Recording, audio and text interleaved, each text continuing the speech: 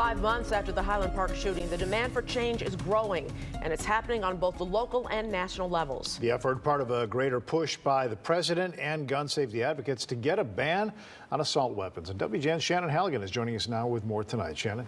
Doctors from Highland Park and across the country gathered in D.C. Tonight, survivors of the Highland Park July 4th parade shooting held a healing forum, and President Biden spoke at a national vigil on gun safety, all with the same goal end gun violence.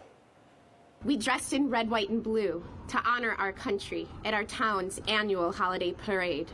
Dr. Emily Lieberman and her family were at the July 4th Highland Park parade. Then gunshots blazed overhead. My husband and I each grabbed a child and we ran for our lives. Dr. Lieberman joined doctors from all over the U.S. with the March 4th Coalition. They want to tell lawmakers that mass shootings are a public health crisis, and the time to act and pass an assault weapons ban is now. Tragically, tragically, tragically, guns are now, guns are now the number one killer of American, children. children. The Newtown Action Alliance Foundation held their yearly vigil Wednesday night.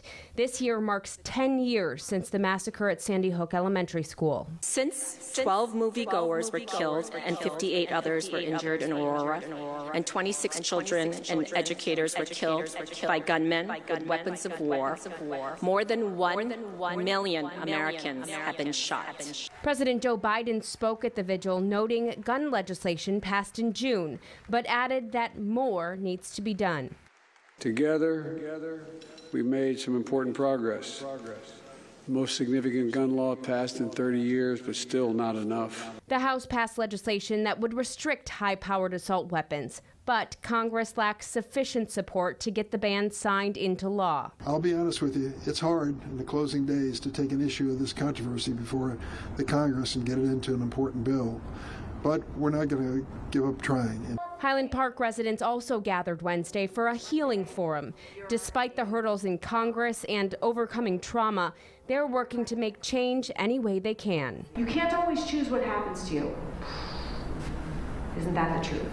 I would never, never in a million years have chosen my son to be murdered. However, I can take my personal power back in how I choose to thoughtfully respond.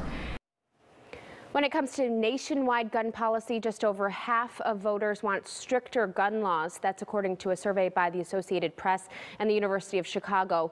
14% of those surveyed said they prefer looser gun laws. Mm.